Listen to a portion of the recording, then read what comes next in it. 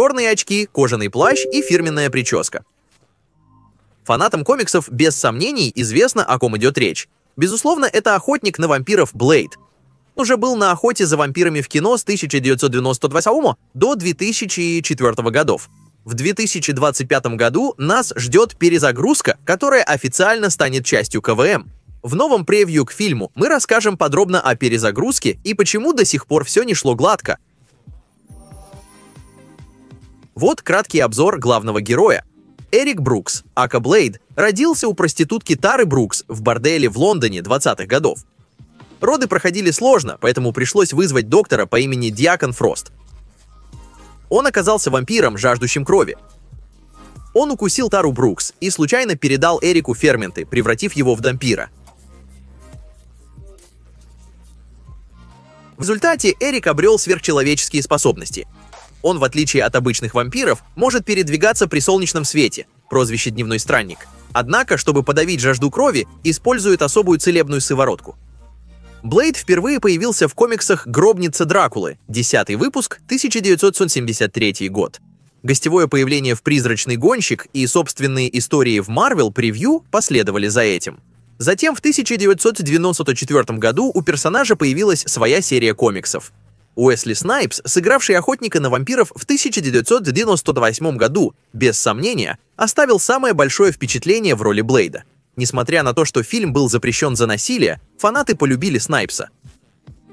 Блейд 2, Гильермо Дель Торо и Блейд Тринити с Райаном Рейнольдсом и Джессикой Билл следовали, последний считается провалом. Также были выпущены телесериал и аниме-сериал в 2018 году сбылась долгожданная мечта фанатов. Marvel объявила о перезагрузке, которая официально войдет в MCU. Махершала Али, обладатель многих Оскаров, принимает на себя роль любимца фанатов. В момент анонса мало кто мог предположить, что производство фильма не будет гладким.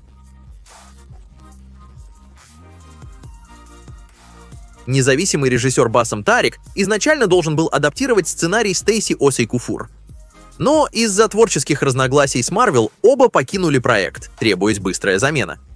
Выбор был сделан в пользу Яна Деманжа, уже успевшего проявить себя в сериале «Страна Лавкрафта». Были привлечены новые сценаристы для переработки сценария, в том числе Майкл Грин, знакомый с супергеройским жанром по Логану. Работа над сценарием оказалась большой задачей и временами приводила к остановке производства. По сообщениям, Махершала Али едва не ушел, ведь Клинок лишь второстепенный персонаж в его фильме. Но проект возродился с новым сценарием от автора «Когда они нас увидят» Майкла Старбери. Что будет в центре сюжета, пока неизвестно. Али, звезда фильма, заверил, что все еще участвует. В проекте также примут участие звезда «Жемчужины» Мия Год и Делрой Линда. Клинок ранее не отличался мягкостью, Легендарная сцена диска из первой части, где кровь буквально лилась с потолка, нам всем известна. С Клиноком, теперь официально входящим в MCU, фанаты беспокоятся, что новый фильм может быть менее кровавым. Деманш, режиссер, в ответ на опасения в интервью подчеркнул, что Клинок останется откровенным. Это означает, что новый фильм получит рейтинг R. Уже начинаешь задумываться, когда же новый Блейд выйдет. Фильм должен выйти 7 ноября 2025, после множества переносов и пауз. А останется надеяться, что все пойдет гладко и ожидать возвращения вампирского охотника.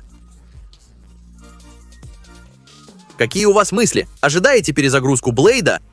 Или версия Снайпса слишком крута? Делитесь мнением в комментариях. Ставьте лайк, если понравился наш обзор.